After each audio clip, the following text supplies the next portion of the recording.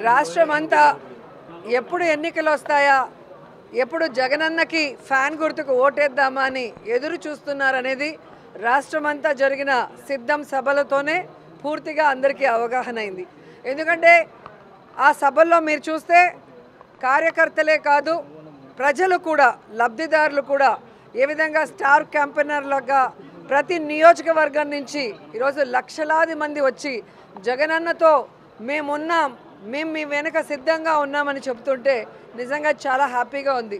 ఎందుకంటే ప్రజలకి మంచి చేయటం కోసం కష్టాలు అనుభవించి తప్పుడు కేసులు వాళ్ళు బనాయించిన చిరునవ్వుతో ముందుకు వెళ్ళి ఈరోజు ప్రజల ఆశీస్సులతో తిరుగులేని ముఖ్యమంత్రి అయిన జగన్మోహన్ రెడ్డి గారు తాను ముఖ్యమంత్రి అయిన మొదటి రోజు నుంచి ఏ విధంగా తన తండ్రి పేరు నిలబెట్టే విధంగా పరిపాలించారు పారదర్శకంగా అనేది మనం చూసాం. అందుకే ఈరోజు జగన్మోహన్ రెడ్డి గారు నేను మీ కుటుంబానికి మంచి చేశానని నమ్మితేనే నాకు ఓటేయండి అని దమ్మున్న నాయకుడిగా అడగటం జరిగింది. దేశంలో ఏ రాష్ట్రంలో ఏ ముఖ్యమంత్రి కూడా ఇంత దమ్ముగా ఎవరిని అడగలేరని కూడా ఈ సందర్భంగా తెలియజేసుకుంటున్నా. ఎందుకంటే చెప్పాడంటే చేస్తాడంతే. చేశాడు కాబట్టే ఈరోజు ధైర్యంగా అడగగలుగుతున్నారు. సో ఈరోజు ఎన్నికలు సమీపించాయి కోడ్ వచ్చేసింది. సో జగన్మోహన్ రెడ్డి గారు ఇరవై ఏడవ తేదీ ఇడుపులపాయలో రాజశేఖర్ రెడ్డి గారికి నివాళులు అర్పించి ఆయన ఆశీస్సులతో మరి బస్సు యాత్ర స్టార్ట్ చేయబోతున్నారు.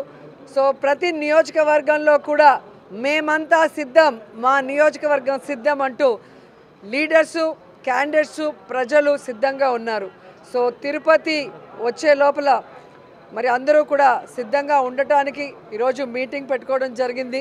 చిత్తూరు ఆరు పూలతల పట్ల ఒక మీటింగు అలాగే కాళహస్త్రి ఆరు నాయుడుపేటలో ఒక మీటింగు ఈ జిల్లాకి పాత జిల్లాకి సంబంధించి అని చెప్పడం జరిగింది. సో మా కాన్స్టిట్యున్సీలో అందరూ అప్పుడే రెడీగా ఉన్నారు.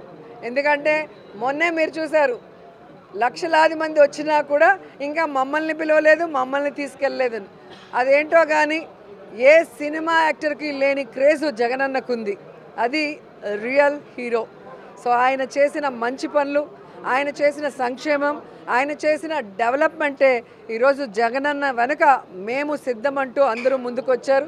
సో మళ్ళీ ప్రజలకి ఏం చేయబోతున్నానో మేనిఫెస్టో రిలీజ్ చేయబోతున్నారంటే ప్రతి ఒక్కరూ ఆతృతగా ఎదురు చూస్తున్నారు ఎందుకంటే చెప్పిన ప్రతి వాగ్దానాన్ని నెరవేర్చిన జగన్మోహన్ రెడ్డి గారు మళ్ళీ రాబోయే ఎన్నికలకి కొత్తగా ఏం చెబుతారు? ఆయన చెప్పాడంటే చేస్తాడన్న నమ్మకంతో ఎదురు చూస్తున్నారు కానీ చంద్రబాబు నాయుడు అండ్కో ఏదైతే ఒక టీం ఉందో గత ఎన్నికల్లో మీరు చూసారు రెండు వేల పద్నాలుగులో వీళ్ళు కలిసి వచ్చారు.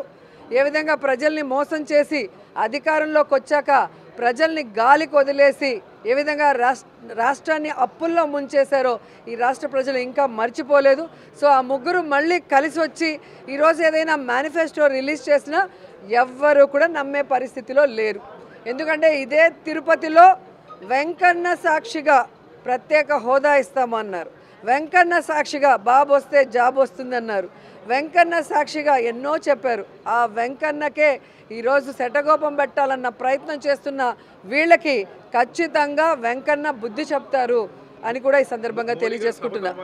ఎప్పుడైతే తెలుగుదేశం పార్టీ జనసేన వాళ్ళ అభ్యర్థుల లిస్ట్ ఫస్ట్ లిస్ట్ రిలీజ్ చేశారో ఆ రోజే రాష్ట్రమంతా మీరు చూశారు. వైఎస్ఆర్సీపీ సంబరాలు చేసుకుంది. పేలవంగా ఒక candidate list Telugu Desam Janasena release చేయడం జరిగింది. మొన్న ఈ ముగ్గురు కూటమి ఏదైతే ఉందో బీజేపీ తెలుగుదేశం పవన్ కళ్యాణ్ మీటింగ్ జరిగిందో దాంతో అందరికీ అర్థమైపోయింది. వన్ సెవెంటీ ఫైవ్కి one seventy five YSR Congress party రాబోతుంది. మళ్ళీ జగన్ అన్నే ముఖ్యమంత్రి కాబోతున్నారని. ఎందుకంటే ఈరోజు ఈ మీటింగ్కి బీజేపీ వాళ్ళు జనసేన వాళ్ళు అందరూ కూడా బాయ్కాట్ చేశారు. అండ్ సీనియర్ మోస్ట్ లీడర్స్ ఎవరైతే తెలుగుదేశం పార్టీకి పనిచేశారో వాళ్ళు కూడా ఈరోజు సీట్ల పంపకాల్లో ఎంత దూరంగా ఉన్నారో మీరు చూస్తున్నారు. అంటే వేరే వాళ్ళు సీట్ ఏదైనా మారిస్తే దాన్ని ఎంత పెద్ద తప్పుగా చూపించిన చంద్రబాబు నాయుడు. ఈరోజు ఏం సమాధానం చెప్తాడు? ఎన్నో సంవత్సరాలుగా తెలుగుదేశం పార్టీ జెండాను మోసిన వాడికి ఈరోజు సీట్ లేదు.